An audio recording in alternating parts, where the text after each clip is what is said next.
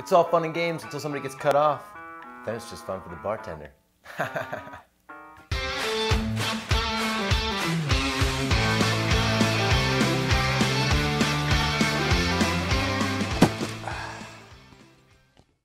Hey, what's up, everybody? Welcome back to Bar School. I'm Beau Robinson. After doing about 20 of these episodes, I've come to realize that the root of all cocktails goes back to the age of modern colonialism.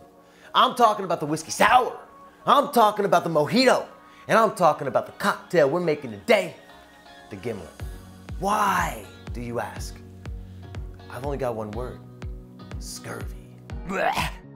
If I haven't explained it before, scurvy is a vitamin deficiency disease, specifically vitamin C.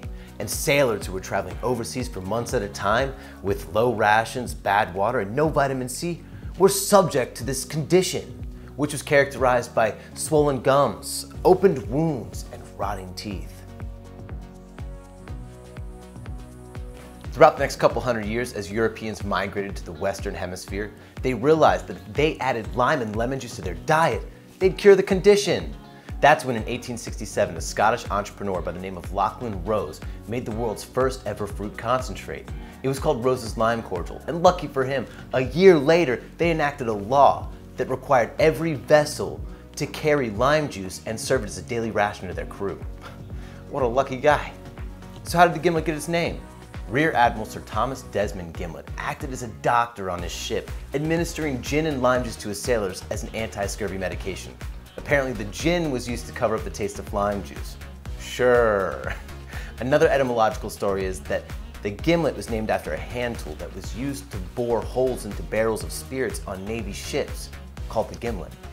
You see, the gimlet was a well-kept secret. The British Navy officers were the ones drinking gin, while traditional sailors were forced to drink rum rations. Then in 1953, an author by the name of Raymond Chandler discovered the gimlet on an ocean liner and worked it into one of his greatest books, The Long Goodbye. All this gimlet talk has made me thirsty. Grab your tins. Let's save the ice for last. Let's start out with a half ounce of simple syrup, a full ounce of fresh squeezed lime juice, and then two ounces of London dry gin.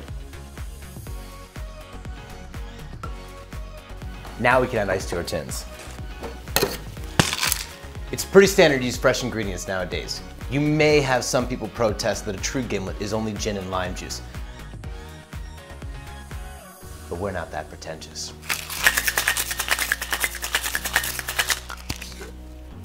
Grab your coupe glass. Double strain this cocktail right into our coupe glass. Last, add a lemon wheel as a garnish. You can put it on the side or drop it straight in, all up to you. And that's the gimlet. The gimlet is a great way to approach gin. It's well balanced with lime and the juniper berries crashing together to make for an extraordinary taste. Thank you all for tuning in. My name is Beau Robinson, and cheers. Do me a favor, please drink responsibly and subscribe. Thanks.